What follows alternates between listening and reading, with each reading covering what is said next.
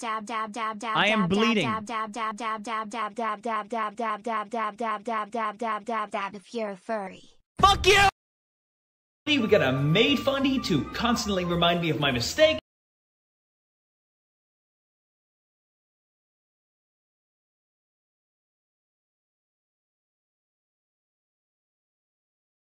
First of all, you need a sewing pattern. You can make easily make it yourself by just drawing the shapes and forms, pieces of the fox, I guess, onto a piece of paper. For pieces that have to be symmetrical, you can just fold the paper and, yeah, cut, draw only a half and only cut out, and cut then everything together out. Yeah.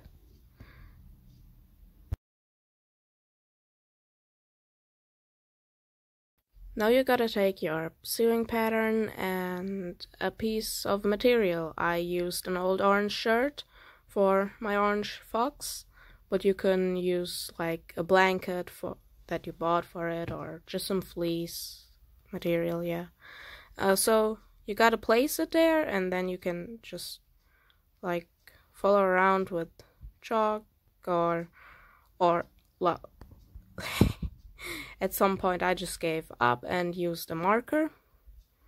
You can use that, just just that is visible to you. And yeah, then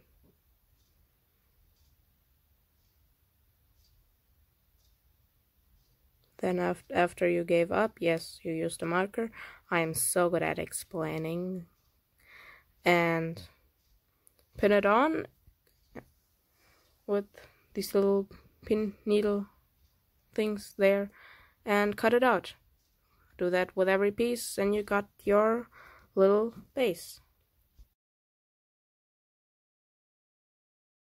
And now we come to the actual sewing part. Just take a piece, take your needle with uh, and and sew. Yes. Important is that you leave a little hole every single piece so you can turn it around to the kind of better looking side at the end.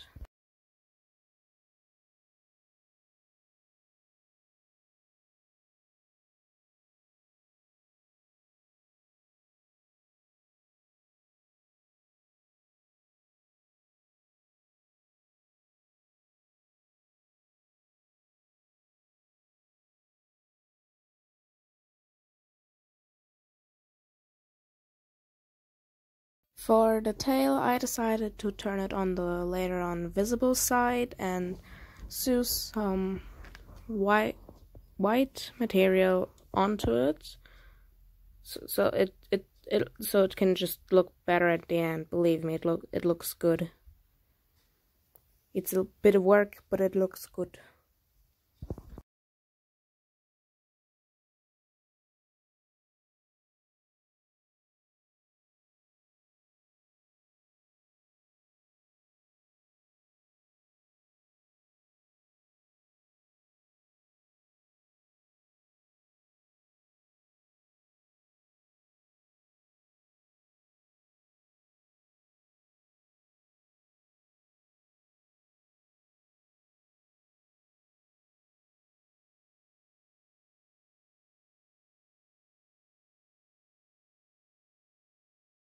Then just turn it around to the non-visible side when you're done and and and sew it all together.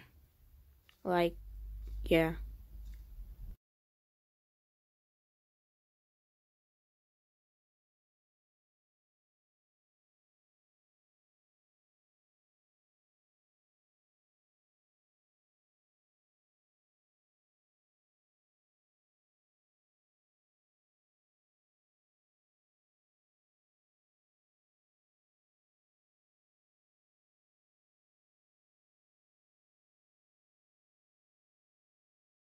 Now you gotta turn all the pieces around so you can so you have the better looking side uh, for for edges.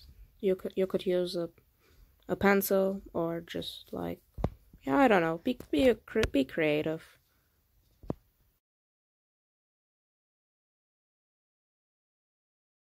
And now you only need your filling material to stuff it all up After you stuff the pieces and closed up all the holes, you only have to sew every single piece together to get a fox. I actually wanted to record footage of how I did this, but I didn't press the record button, so there you go, a fox. A simple and bad tutorial. By, by me, yes.